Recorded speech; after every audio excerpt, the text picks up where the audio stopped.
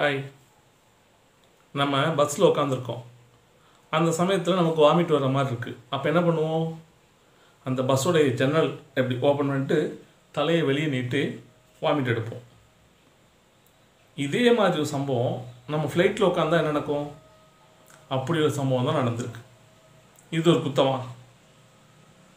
அவருக்கு வாமிட் வர மாதிரி இருந்திருக்கும். அதனால் ஜன்னலுக்கு அதை ஓப்பன் பண்ணி தலையை வெளியே நீட்ட வந்து பார்த்துருப்பாங்க. இது ஒரு குத்தன்ட்டு இப்போ ஒரு பெரிய கேஸ் ஆக்கிடுவாங்க இப்போ பார்த்தீங்கன்னாக்கா on December tenth a passenger open the emergency door creating a shaker scare among passenger in IndiGo six three six E flights six E seven three three nine from Chennai to Trivandrum the flight took off after pressurisation checks soon after DGC has order a probe into the matter ஒருத்தர் வாந்தி vomit வந்ததை vomit எடுக்கிறதுக்காக window கதவை open பண்ணிட்டு தலையை நீட்டினது ஒரு குத்தன்ட்டு. இப்போ வந்து டிஜிசியே ஒரு இது வந்து ஒரு விசாரணைக்கு உத்தரவிட்டிருக்கு இதெல்லாம் ஒரு குத்தாமா? ஒரு தேசபக்தராக இருந்தால் அவருக்கு வந்து ஒரு சுதந்திரக்காரற்ற சுவாசிக்க விரும்புன்னு விரும்பியிருப்பார். அதனால் கூட அந்த ஜன்னல் கதை திறந்துருக்கலாம். அப்படி இல்லைன்னா தேசபக்தர் வந்து அந்த தேசபக்தர் வந்து என்னுடைய தாய் நாட்டை நான் எந்த விதமான தடைகளும் இல்லாமல் என்னுடைய எந்த விதமான தடுப்புகளும் இல்லாமல் நான் பார்த்து கொண்டே இருக்க வேண்டும் என்று விரும்பியிருக்கலாம். அதனால கூட அந்த ஜன்னல் கதை ஓப்பன் பண்ணிட்டு தன்னுடைய தாய்நாட்டை ஆவலாக பார்த்துருக்கலாம். இதெல்லாம் ஒரு குத்தன்ட்டு இப்போ டிஜிசியை வந்து ஒரு விசாரணைக்கு உத்தரவிட்டிருக்கு. இது பற்றி நம்ம தமிழ்நாடு அமைச்சர் திரு செந்தில் பாலாஜி அவர்கள் வந்து ஒரு ட்வீட் போட்டிருக்காரு. ரெண்டு ஆர்வ கோளாறுகள் விமானத்தின் எமர்ஜென்சி கதவை திறந்து விளையாடுவது பற்றி டிசம்பர் இருபத்தொம்பது அன்று நான் கேள்வி எழுப்பியிருந்தேன். இன்று டிஜிசியை விசாரிக்க உத்தரவிட்டுள்ளது. வெளிநாட்டு வாட்ச் கட்டுவது தேசப்பட்டன ஊற்றிய பொய்யர் சுதந்திர காற்றை சுவாசிக்க கதவை திறந்த நிலையில் உருட்டாமல் இருந்தால் சரி. அதையும் மென்ஷன் பண்ணிட்டாரா? நான் நினச்சிட்ருக்கேன் நம்ம தான் சிந்திச்சு சொல்கிறோம்ல இருக்கு அப்படின்னு நினச்சிட்ருக்கேன் அந்த உருட்டில் அந்த அந்த ட்விட்டில் அதை மென்ஷன் பண்ணியிருக்காரு. சுதந்திர காற்றை சுவாசிக்க தான் கதவை திறந்தேன்னு அவர் சொல்லாமல் இருந்தால் சரிதான் அப்படின்ட்டு. இதை பற்றி ஏஎன்ஐ செய்தினரும் ஒரு இது news சொல்லிகிட்ருக்கு on December tenth a passenger open the emergency door creating a scare among passengers in IndiGo six E flight six E seven double three nine from Chennai to Trivandrum the flight took off after pressurisation checks soon after DGC has order a probe into the matter DGCA இப்படிப்பட்ட ஒரு மிகுந்த தேசபக்தி மிகுந்த தேசபக்தர்கள் யாருன்னு பார்த்தீங்கன்னாக்கா நம்ம தமிழ்நாடு பாரதிய கட்சியுடைய தலைவராக இருக்கக்கூடிய ஆட்டுக்குட்டி என்று அன்போடு அனைவரால் அழைக்கப்படும் திரு அண்ணாமலை அவர்களும் இந்திய பாரதிய ஜனதா கட்சியின் இளைஞரணி செயலாளராக இருக்கக்கூடிய கர்நாடக மாநிலத்தை சேர்ந்த தேஜஸ்ரீ சூர்யா என்ற இருவரும் தான் இந்த எமர்ஜென்சி விண்டோவை ஓப்பன் பண்ணி விளையாண்ட இரண்டு மகா புத்திசாலிகள்.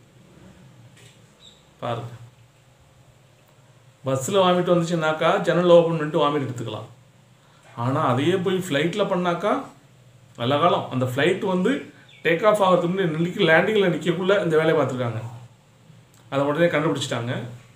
ஏன்னா இதே வேலையை வந்து அவங்க வந்து அந்த ஃப்ளைட்டு பறந்து விட்டுல பண்ணியிருந்தாங்கனாக்கா மொத்த சோழியும் முடிஞ்சிருக்கும். ஒருத்தர் கூட உயிரோட கீழே இணைக்க முடியாது. வானத்திலேயே பரலோகம் போயிருந்துருக்கலாம் அப்படிப்பட்ட ஒரு நிலை ஏற்பட்டிருக்கும். எப்படிப்பட்ட எப்படியாப்பட்ட ஒரு புத்திசாலியாக இருக்கா பாருங்கள் இந்த அண்ணாமலை என்ற நபரை பார்த்து தமிழ்நாட்டு இளைஞர்கள் எல்லாம் வந்து ஒரு மோட்டிவேஷன் ஆகிட்டாங்க இப்போ பார்த்தீங்கன்னாக்கா ஐஏஎஸ் ஐபிஎஸ் எல்லாம் எக்ஸாம்லாம் எழுதி பாஸ் பண்ணுறது கஷ்டம் அப்படின்ட்டு இந்த நிலை மாறி இப்போ வந்து யார் வேணாலும் சொல்கிறாங்க அதெல்லாம் ஜஸ்ட் லைக் தப்பா அதெல்லாம் பண்ணிடலாம் பாஸ் பண்ணலாம். அண்ணாமலையே பாஸ் பண்ணி ஐபிஎஸ்ஸாக இருந்திருக்காரு. இப்போ நம்மளால் முடியாதா? அப்படின்ட்டு தமிழ்நாட்டு மக்களுக்கு ஒரு உத்வேக சக்தியாக ஒரு மோட்டிவேஷ்னல் ஒரு மனிதராக நம்ம அண்ணாமலை இருக்கார்.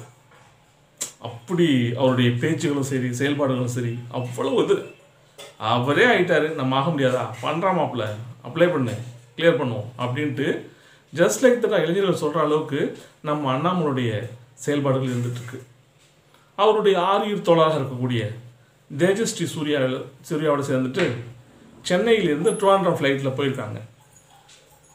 IndiGo flight flight number six E seven double three nine அந்த ஃப்ளைட்டில் போகக்குள்ள தான் இந்த கூத்துக்கெல்லாம் நடந்திருக்கு. அந்த அளவுக்கு அவர்கள் வந்து அந்த எமர்ஜென்சி விண்டோ அதை ஓப்பன் பண்ணக்கூடாது ஓப்பன் பண்ணக்கூடாது என்ற விதி கூட தெரியாத அளவுக்கு அவர் எந்த அளவு எந்த நிலையில் இருந்தாக்கா அவர்கள் எப்படி இப்படி இந்த வேலையை பண்ணியிருப்பாங்கன்னு நினச்சி பார்த்தாக்கா அவங்க எப்படி இருந்திருப்பாங்க? ஏதோ டிஃப்ரெண்ட்டாக வேற ஒரு உலகத்தில் இருப்பாங்களோ என் நினைக்க தோணுது. ஏன்னா பகல் முழுக்க மீட்டிங் மீட்டிங் பேசி முடிச்சுட்டு நைட்டில் அந்த நடந்திருக்கு. நைட்டில் சென்னையிலேருந்து திருவாரூரம் போக்குள்ள தான் இப்படிப்பட்ட ஒரு சம்பவத்தை செஞ்சுருக்காங்க. அதுக்காக இப்போ சாதாரண மனிதர்கள்னாக்கா அந்த சமயத்தில் இமீடியட்டாக பார்த்தீங்கன்னாக்கா ஒரு பெரிய ஆக்ஷன் எடுத்து பிடிச்சி ஜெயிலில் போட்டிருப்பாங்க அரெஸ்ட் பண்ணியிருப்பாங்க அந்த விமான நிலையத்துலேருந்து போலீஸ் ஸ்டேஷனுக்கு கம்ப்ளைண்ட் போயிருக்கும் அப்படிலாம் நடந்திருக்கும். ஆனால் இவர் ஒரு ஒரு இந்திய தேசிய கட்சியுடைய மாநில தலைவராக இருக்கார்ல. அதனால் அவரை பற்றி எந்த விதமான வழக்கும் காவல் நிலையத்தில் பதிவு செய்யப்படவில்லை அவர் கைதும் செய்யப்படவில்லை அப்படின்ட்டு தகவல் வருகிறது. கொஞ்சம் நினச்சி பாருங்களேன். இதையே வந்து ஒரு ரஹீமோ ரஹ்மானோ செஞ்சிருந்தாக்கா இந்த அண்ணாமலை என்னென்ன குதி குதிச்சிருப்பார்?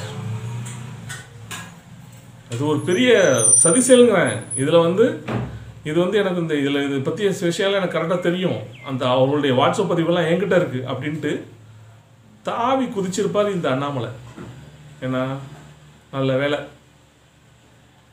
ரஹீமோ ரஹ்மானோ இந்த மாதிரி வேலை செய்யலை. ரஹீமோ ரஹ்மானோ என்ன? ஒரு சாதாரண தனிப்பட்ட சதி ஒரு இந்திய பிரதேச சாதாரண ஒரு குமாரோ கந்தசாமியோ பண்ணியிருந்தா கூட ஒரு பெரிய லெவலில் வந்து பண்ணியிருப்பாங்க. இது பண்ணது பார்த்தீங்கன்னாக்கா பாரதிய ஜனதா கட்சியுடைய மாநில தலைவரும் இளைஞருடைய தேசிய செயலாளரும் இந்த வேலையை பண்ணதுனால அதை வந்து கமக்கமாக மூடி மறைச்சிருக்காங்க. இருந்தாலும் டிஜிசிஏ இப்போ திரும்பவும் அதை பற்றி விசாரணைக்கு விசாரணை செய்வதற்கு உத்தரவிட்டுள்ளது. ஏன்னா அந்த அளவுக்கு ஒரு என்ன சொல்கிறது வாழும் வரலாற்று எடுத்துக்காட்டு நாயகனாக இருக்கார் அண்ணாமலை. அதனால் தமிழ்நாட்டு இளைஞர்கள்லாம் அவரை ஒரு முன்னோடியாக எடுத்துக்கொண்டு யூபிஎஸ்சி எக்ஸாம் என்று அழைக்கக்கூடிய ஐஏஎஸ் ஐபிஎஸ் தேர்வுகளில் பங்கேற்று அனைவரும் ஐஏஎஸ் மற்றும் ஐபிஎஸ்களாக மாறுவதற்காக என் நெஞ்சார்ந்த வாழ்த்துக்களை தெரிவித்துக் கொள்கிறேன். டூ கே கிட்ஸ்களாக வாட்ச் பண்ணுங்கள் எப்படி இருந்தார் பார்த்தீங்களா அப்படிப்பட்ட ஒரு மனுஷனே அப்படி ஆயிட்டாரு. இதெல்லாம் நீ ஆக முடியாதா என்ன? நிச்சயமாக ஆக முடியும். அதனால் பயப்படாமல் யூபிஎஸ்சி எக்ஸாம் எழுதி ஐஏஎஸ்ஓ இல்லை ஐபிஎஸ் ஆஃபீஸரோ ஆகிடுங்க ஓகேயா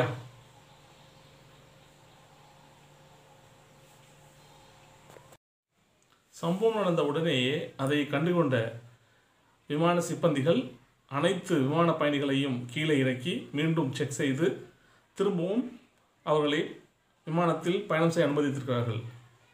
அதே போன்று அதே தினத்திலேயே அந்த இருவரும் மன்னிப்பு கடிதம் எழுதி கொடுத்துருக்கிறார்கள். என்னது? அண்ணாமலை மன்னிப்பு கடிதம் எழுதி கொடுத்துருக்காரா? அப்படின்னு அதிர்ச்சியெல்லாம் அடையாதீங்க. அவர் வந்து நான் மன்னிப்பு கேட்க மாட்டேன்னு தான் சொல்லுவார். ஆனால் இப்போ கூட அவர் மன்னிப்பு கேட்கல.